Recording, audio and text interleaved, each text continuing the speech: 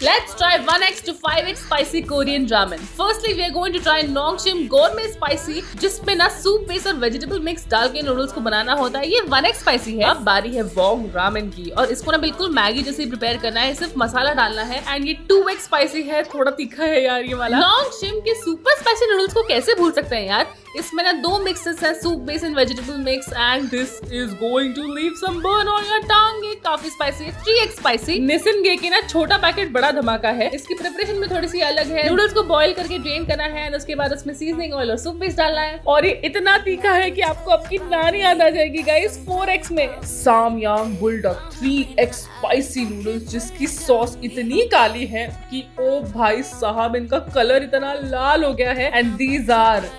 पानी पानी पानी पानी पानी पानी these will leave your tongue your lips and your stomach on fire अच्छा वीडियो पसंद आए तो सब्सक्राइब कर दो